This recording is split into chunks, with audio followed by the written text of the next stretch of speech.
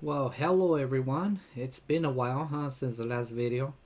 Uh, well, you know, part of the reason why I waited so long was because they were releasing the new configurator, which they had, um, Vlad had sent me an email told, telling me that, you know, they were about to change it up, so he recommended that I, that I don't post any new videos showing the old configurator, which I thought was a good idea.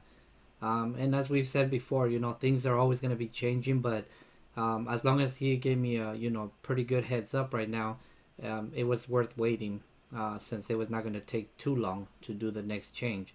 So this video here is just a little short one to answer a question from one of the followers who asked me he wanted to connect uh, one of these uh, five pin switches that are momentary push buttons and they also have a light integrated in them. So he wanted to connect one for the uh, caution, master caution, and one for the fire fire warning lights. I guess like the ones on the 737, the Zibo. Um, so I decided that instead of trying to answer this question um, through text, which would be a little bit long, I would just make a short video showing him how to wire them. And I don't know, he probably doesn't need help configuring it, but I might as well show that too. And it also serves a purpose that we'll get to look at the shiny new configurator. Might as well, right? So first things first, let me get myself out of the shot here and then we'll get started. I just wanted to uh, go over this. I'm not sure if those are the types of switches that he was asking me about, um, but if they're not, you know, these are the ones I'm using for my master caution and also for the fire. If I look at the fire warning ones, those are some big switches. They're probably about, you know, one one inch square or, or a little bit bigger than that you know but the premise is the same. If you look in back of them you can see that the switches have a uh, you know the the three contacts right here. One of these would be for normally open and one for normally closed. And then it has one contact here on the top and another one on the bottom which you could probably see better on this picture. So this would be the negative for the light and this is a positive. And then this is a negative for the switch and this is a positive uh, for the normally open switch part of it. So that's that's that one right there. That's the one that uh that I use for that. Now I'm not sure if that's what you're using or not but the like I said before the idea is the same. You're gonna have you know three contacts for the switch a ground a normally open and a normally closed and you're gonna have two contacts for the light. Now these lights right here they're actually uh, 12 volts and I, I had to use a separate power supply to to power those. And I actually went through relays in order to send the relays the signal of when to turn on and off. Um, I did make another video I think completely about that um, how to how to wire the relays and all that stuff. And they also have instructions on the HCSCI website on how to do that. Um, but if you want to just look at my other video that I made regarding that um, you'll probably find that helpful as well all right, so the switches that we're talking about here are are what you would call kind of like a Korry type switch because they are, uh, you know, like they have the switch and they are have the light built in. They usually have some kind of lettering or something. But I mean, obviously, we're not trying to buy the real ones because, as you can see, this is an actual aircraft push switch and it costs a lot of money. So we're not trying to get into buying, you know, real ones. And on the HCSCI website, they do have a section on how to ma make your own with an LED light and then a, a push button switch. But I'm too lazy even to do that. So I just go to eBay and I just basically put square push button switch with light. And then you get all kinds of different switches. But the ones I'm I'm looking at, the ones like the ones I have here on the table are like these right here. But most of the time, um, you need to get them through China because sometimes they're very hard to find here in the US and when you do find them they're kind of expensive. So obviously right here you see that these right here are, are 12 volts and 5 volts and I did find that with the 5 volts they are bright enough to use just with the 5 volts. And you can get them in all kinds of colors you know you can get them in red white blue yellow and green. Um, and they have rectangular ones and they also have uh, square ones. And then they also have latching ones and then they also have momentary ones. So you can decide um, you know if you want them to latch which we which to the configurator and for the whole building of your cockpit it would it would look like a toggle switch. But if you just want them to be momentary push buttons then you would of course get the ones that say momentary only. So we're going to go ahead and look at the ones that I have here on the table real quick and uh, as you can see I have uh, three different ones uh, one of each color. I didn't I don't think I've ever gotten any blue ones or white ones you know but you can uh, just choose the ones you want to do. Um, if you want to do something like for example get creative you know like and, and maybe you can use something like this you know like to use them like for the the MCP of the 737 and other airplanes. I think for this one right here I just I painted it over with a black marker and then I wrote with white text. And then I just left a little part on the bottom so that it can illuminate you know when you activate it. And you'll see a little bit later on how that looks. This one right here looks a little bit better quality. Um, I actually used black tape and uh, and then I wrote with the same white pen but it looks a little bit better. I'm sure those of you that have uh, 3D printers and laser engravers or sketchers or whatever, you know, you can do a much better job. Um, and then, like I said before, you can get them like this one, which is just a momentary push button.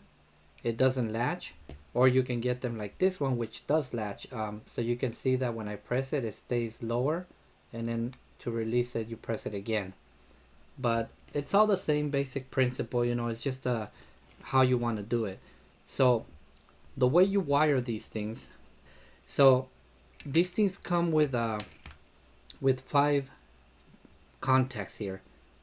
And the reason is um, one of these will be the ground. If you look real closely you might be able to see let me see if I can get it to to show.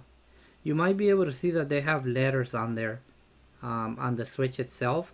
And it says one of them says uh, C for common, which would be the ground. Another one says NO for normally open. And another one says NC for normally closed. So obviously the ground you would put it where where the ground, you know, the common one goes and then normally you would want them normally open so that they only make contact when you close the switch when you when you click on it. So that's how you would wire them. And then for the light, the light are the two ones on the on the outside here. And since I used to think these were LEDs, but they're not. So you can connect the positive and the negative wherever you want. Now, what I've done here on these, um, you can see right here that I actually just jumped the negative from the one for the light to the other one that I was going to use for the for the switch right here and then I would just take the normally open to one of the pins on the Arduino or the multiplexer or whatever I want to use and then one of these is going to go to the pin where the LED is going to be assigned to or the light. It's, even though it's not an LED in this case but it, it still works as you'll see a little bit later on. So the only thing you need to figure is you know if if yours doesn't have the letters right there you just need to figure out which one is normally open and which one is normally closed and then uh, that would you know that you would be able to find out with a multimeter just using the continuity. All right? Okay this one right here is the same thing. I just put a jumper between the the common for the switch to the ground for the light and then just take one gr ground wire and then I put um, one wire for the normally open on the switch and one wire for the light.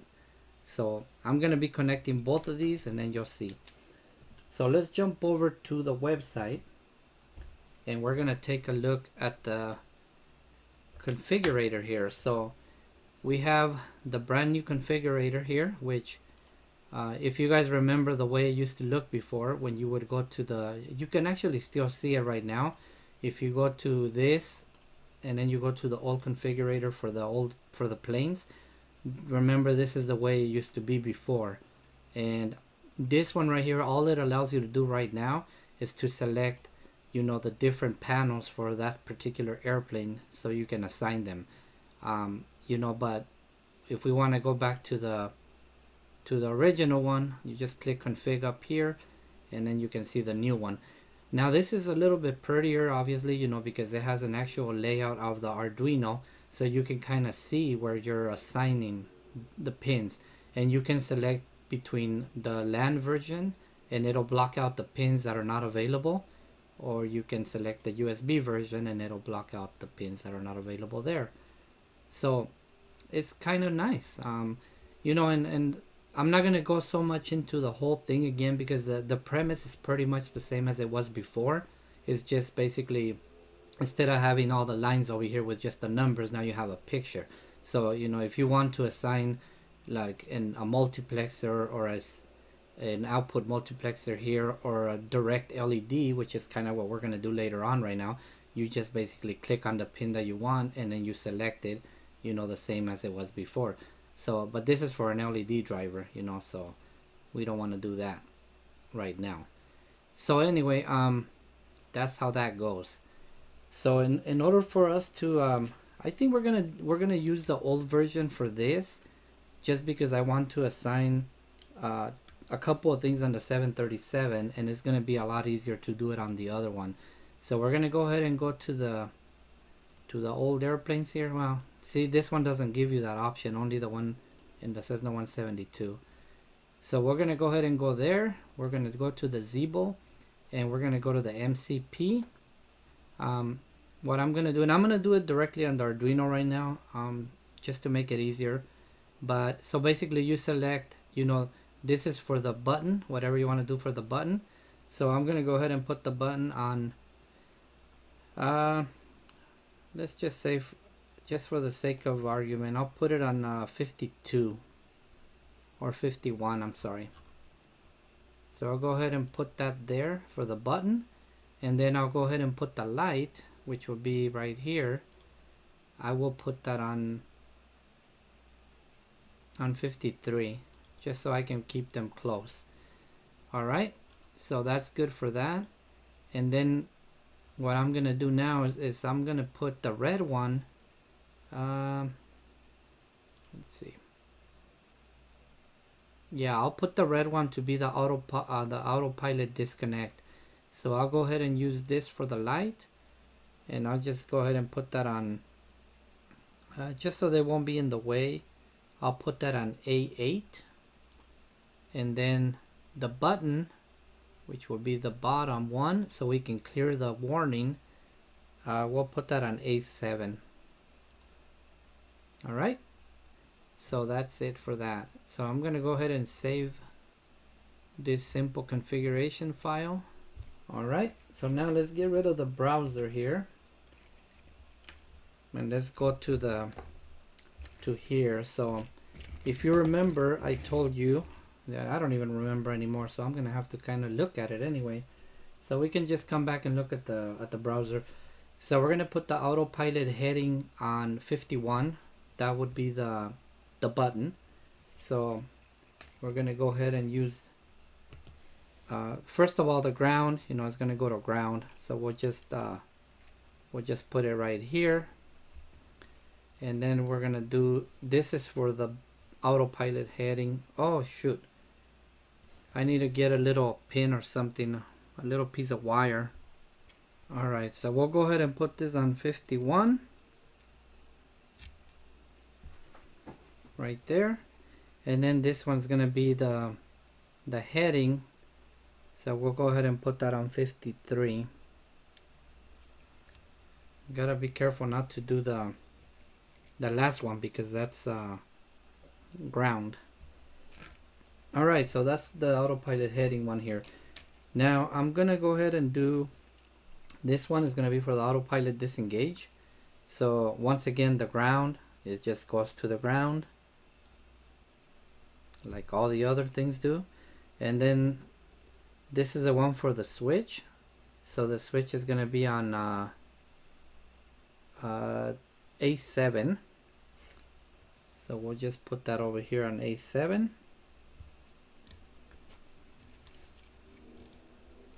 oops and then the light which is the one on the outside remember the two outside ones are for the light and the inside ones the three in the middle are for the switch so the light, we're going to put it on A8.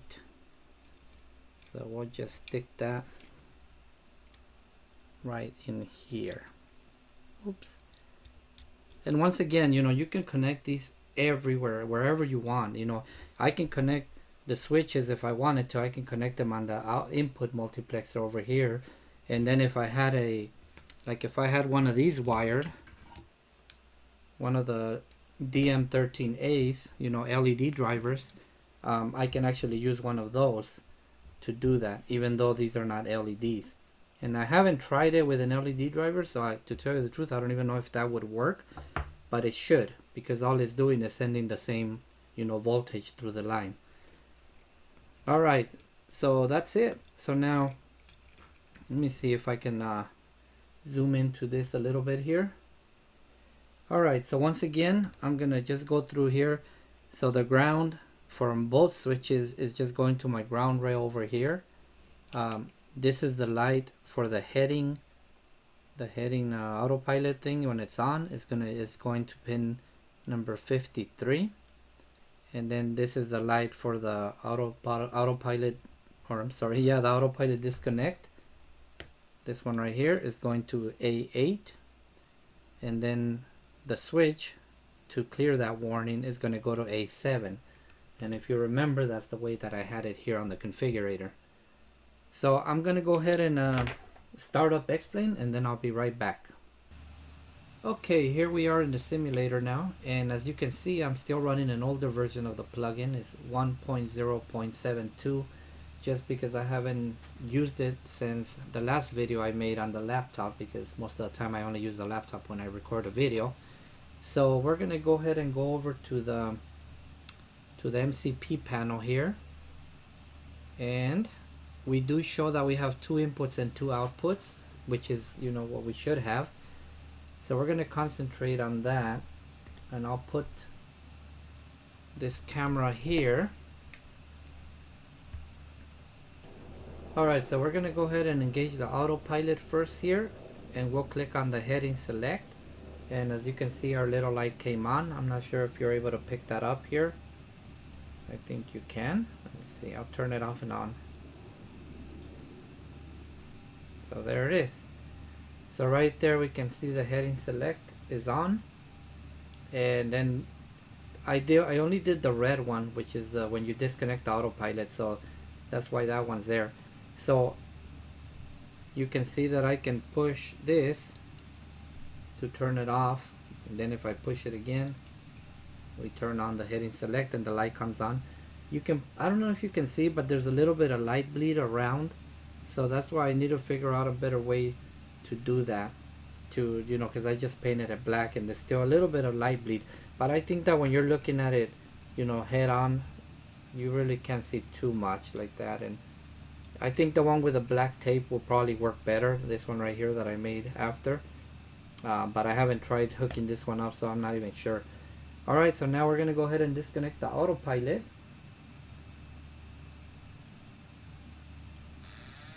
and you see that we're getting the warning here which is that one right there.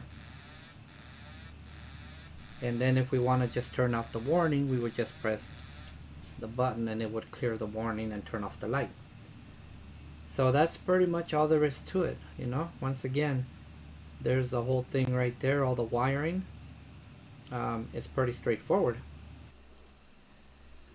Okay so that's pretty much it for this little video. Um, it's not as short as I thought it was going to be because I always end up talking too much. But the whole point of these little videos is to answer questions in a video format rather than in text. And the whole purpose is to make it clearer to understand and hopefully definitively answer the question. So hopefully this cleared it up for you, John, and um, and it helps you out in solving this dilemma that you're in. All right, and I'll be back shortly with another continuing series of my back to basics which was coincidentally going to be about push buttons uh, but I wasn't going to go so deep into these type of switches here. But I'm going to be working on that video and hopefully it'll be up in a few days. Alright thank you guys very much for watching. Welcome back and I'll see you on the next one